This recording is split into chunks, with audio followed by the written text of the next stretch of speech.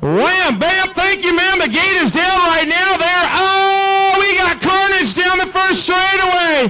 We got me. Oh, no, Besserine. I called him to the first turn. I thought he'd get through it. Stumpfhauser and Khalen Young, one and two right now. USA versus Australia. Going for it. Bubba sitting in the number three slot right now. Things aren't over for him, people. He's still got two more rounds to go, and Stumpy knows it. He'll motor it. Stumpfhauser on a GT. Gonna bring it back to the line. He'll pick up the one. Khalen Young, beautiful job. Bubba Harris picking up the three.